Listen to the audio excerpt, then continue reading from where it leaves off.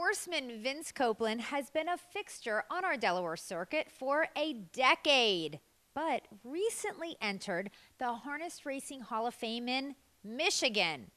What's that all about? Let's get the 411 in this Heather on the spot.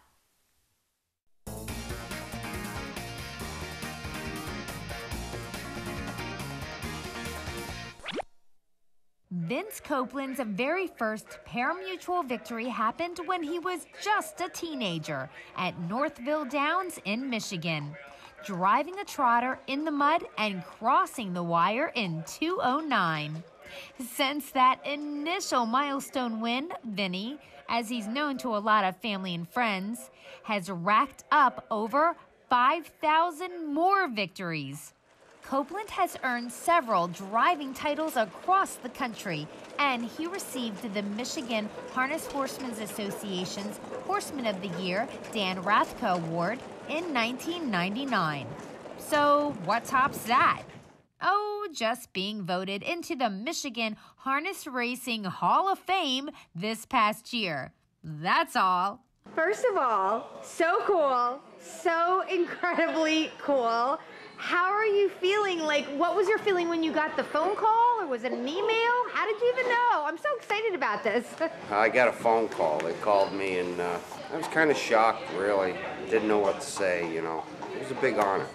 I was really happy about it. So, what happens next? Then you make the drive out to Michigan? because um, it's kind of cold there right now, right? This just happened a few weeks ago. yeah, luckily the weather wasn't that bad. You know, I think it was around 15, but we flew out, spent a couple days, you know, went to the banquet and uh, flew out the next morning. Now, there's a reason that you are in this Michigan Harness Racing Hall of Fame. You know, you spent a lot of years in Michigan. So, you know, let's start from finding out what generation horseman you are and tell me about the different places that you've raced. God. Well, I'm third generation and I've raced probably just about everywhere in the United States. You know, I've been from Maine to California, so um, raced a lot in Canada. You know, I was in Jersey for a while. I was in California for a year. I uh, went back to Michigan and spent a lot of years in Michigan, probably 20 years in Michigan. I was there a long time. So when you were in Michigan and you said you spent a lot of years there, you kind of set up shop. So, you know, where were you racing when you were in oh, Michigan? We raced, at that time there was five tracks going in Michigan. And Canada was only 30 minutes away. So I raced mostly in Michigan and then Canada.